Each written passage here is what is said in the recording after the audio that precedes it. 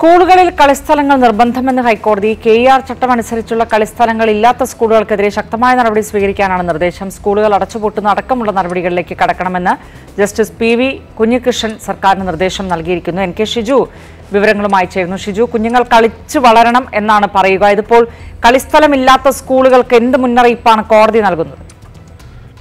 ആ രജന ഇത് Kollam Thevayoor government welfare L P സ്കൂളിലെ ഒരു കളിസ്ഥലത്ത് അവിടെ ഒരു വാട്ടർ ടാങ്ക് സ്കൂൾ അധികൃതരുടെ അനുമതി ഇല്ലാതെ നിർമ്മിക്കുന്നത് ചോദ്യം ചെയ്തുകൊണ്ടുള്ള ഒരു ഹർജിയായിരുന്നു. ഈ ഹർജി ഹൈക്കോടതിയിൽ വന്നതിന് പിന്നാലെ വാട്ടർ ടാങ്ക് നിർമ്മാണം അവർ ഉപേക്ഷിക്കുകയും ഹർജി ഇനി അതിന് പ്രസക്തി ഇല്ലാതാവുകയും ചെയ്തു. പക്ഷേ ആ ഉത്തരവിലാണ് ആ ഹർജി അവസാനിപ്പിച്ചുകൊണ്ടുള്ള ഉത്തരവിലാണ് ഹൈക്കോടതി ഈ കുട്ടികളുടെ കാര്യത്തിൽ വളരെ കർശനമായ ചില നിർദ്ദേശങ്ങൾ പുറപ്പെടുവിക്കാൻ സർക്കാരിന് നിർദ്ദേശം നൽകുന്നത്. കെ ആർ ചട്ടപ്രകാരവും വിദ്യാഭ്യാസ അവകാശ നിയമപ്രകാരവും ഈ കളിസ്ഥലങ്ങൾ ആ സ്കൂളിൽ വേണമെന്ന് നിർബന്ധമുണ്ടെന്നാണ് ഹൈക്കോടതി പറയുന്നത്. മാത്രമല്ല കുട്ടികൾ ആ പഠനം അതിനപ്പുറത്തേക്ക് കുട്ടികളുടെ മാനസിക ശാരീരിക വളർച്ച വളരെ പ്രധാനപ്പെട്ടതാണ്. അതുകൊണ്ട് കളിസ്ഥലങ്ങൾ ഇല്ലാത്ത സ്കൂളുകൾക്കെതിരെ ആ നടപടി സ്വീകരിക്കണം. അത് വേണമെങ്കിൽ അടച്ചുപൂട്ടണം എന്നതടക്കമുള്ള കർശന നിർദ്ദേശമാണ് കോടതി പറയുന്നത്.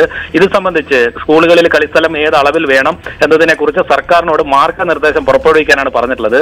ഈ കളിസ്ഥലങ്ങളിൽ ഒരുക്കേണ്ട സൗകര്യങ്ങളെക്കുറിച്ചും ഈ സർക്കുലറിൽ ആ, വ്യക്തമാക്കണം. നാല് മാസത്തിനുള്ളിൽ ഇതിനുള്ള നടപടി സ്വീകരിക്കാൻ സർക്കാരിന് സിംഗിൾ ബെഞ്ച് നിർദ്ദേശം നൽകിയിട്ടുണ്ട്.